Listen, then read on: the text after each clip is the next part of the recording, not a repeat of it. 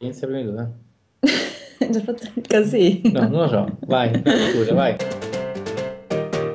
Sonia. Roberto, ma mi chiamano Toto. Mm. Architetto. Io faccio un po' l'insegnante, un po' l'ingegnere.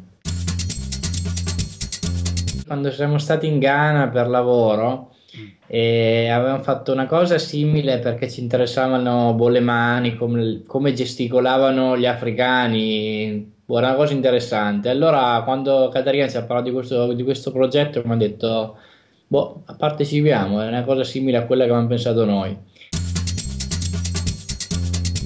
Quando appunto stavamo in Ghana mi piaceva un sacco il modo che avevano di gesticolare, diciamo, i, i taxisti o quelli che sono dei taxisti. Tu capisci mm, se il taxista è libero o occupato, se può prenderti su o se fa viaggi brevi o lunghi solo dal- dalle mani, non si fermava neanche. In generale, è buona, è una bella, è una bella forma per parlare, no? Le mani sono fondamentali. Poi più appunto, più vai verso il sud del mondo, più con le mani il concetto lo capisci già soltanto dalle mani, no?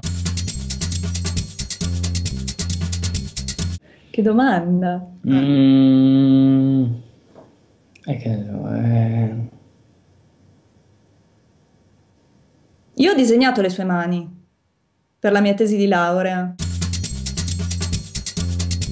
A me que- quelle, quelle di mia nonna che mi piacevano tantissimo, sì, quando, quando cucinava mi ricordo che erano proprio le, le mani, sai, de- della casalinga napoletana che faceva da mangiare, non lo so, proprio er- erano un tutt'uno co- con, la situazione, non so come dire, erano perfette per quella situazione.